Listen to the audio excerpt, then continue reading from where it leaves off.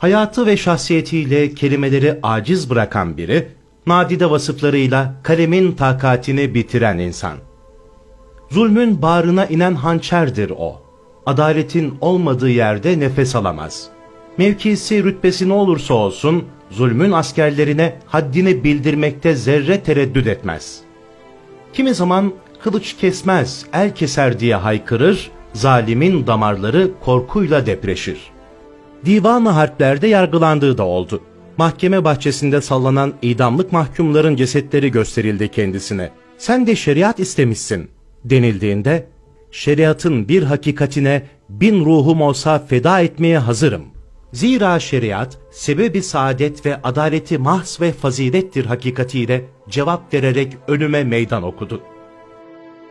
Bazen cephede görünür, kurduğu gönüllü ordusuyla, hadi ileri, gavurun top güllesi bizi öldüremez.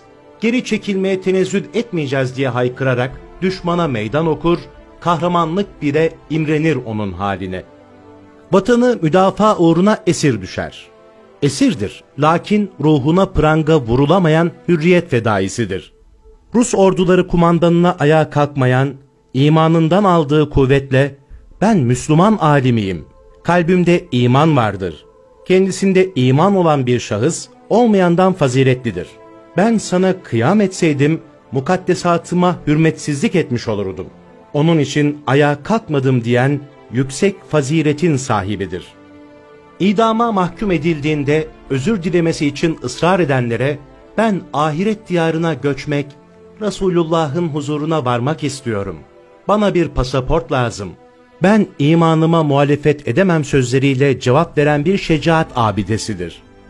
Meclis kürsüsünde içtimai meselelere dair konuşma yapması beklenirken, manevi doktorluğunu konuşturarak hastalığı teşhis eden ve tedavi manasında namaz konulu 10 maddelik beyanname okuttuğunda, dine soğuk bakan dünyaca büyük bir mevki işgal eden zatın itirazına, İslamiyet'te imandan sonra en yüksek hakikat namazdır.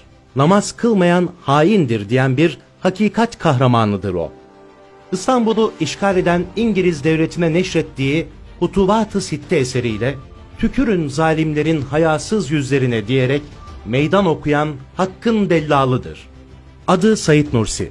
Ünvanı zamanın eşsiz güzelliği manasına gelen Bediüzzaman'dır. Mesleği, davası, gayesi sadece ve sadece nesillerin imanını kurtarmak, ebedi hayatlarını muhafaza etmektir. Yazdığı muhteşem Kur'an tefsiri, Risale-i Nur külliyatıyla başlattığı iman kurtarma seferberliği, büyük sıkıntılar, eşi benzeri görülmemiş cefalarla günümüze kadar ulaşmıştır. Bir gün dünya tarihinin en talihsiz sözlerinden biri, İngiliz Müstemlikat Nazırı William Ewart Gladstone tarafından sarf edildi. İngiliz avam kamerasında elindeki Kur'an'ı göstererek şöyle dedi. Bu Kur'an Müslümanların elinde kaldıkça biz onlara hakiki hakim olamayız.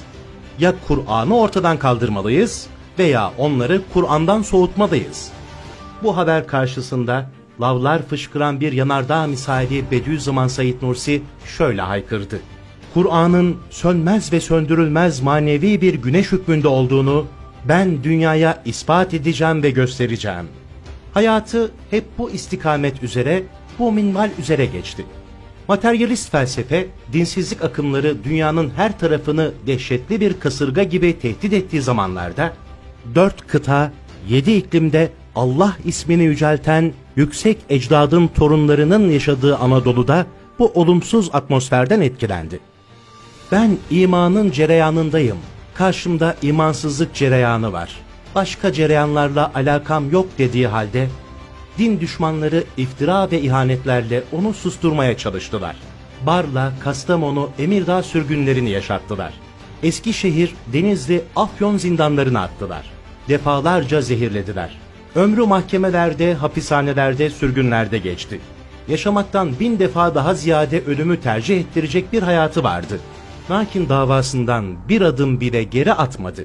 Hak bildiği istikametten korku onu men edemedi. Küfrün kulaklarını sarlaştıracak yüksek bir sadayla haykırdı. Saçlarım adedince başlarım bulunsa, her gün biri kesilse, bu hizmeti imaniyeden çekilmem. Dünyayı başıma ateş yapsanız, hakikati Kur'aniye'ye feda olan bu başı zındıkaya eğmem.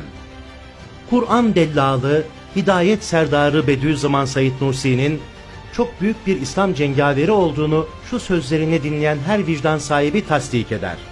Ben cemiyetin iman selameti yolunda ahiretimi de feda ettim. Gözümde ne cennet sevdası var ne cehennem korkusu. Cemiyetin imanı namına bir Said değil bin Said feda olsun. Kur'an'ımız yeryüzünde cemaatsiz kalırsa cenneti de istemem. Orası da bana zindan olur. Milletimizin imanını selamette görürsem cehennemin alevleri içinde yanmaya razıyım. Çünkü vücudum yanarken gönlüm gül gülistan olur. 23 Mart 1960'da Urfa'da bir otel odasında vefat ederken dünya namına bir şey bırakmadı. Geride sadece Kur'an tefsiri Risale-i Nur külliyatı ve onu okuyarak hayatlarını vahiy istikametli tanzim eden milyonlarca talebe bıraktı.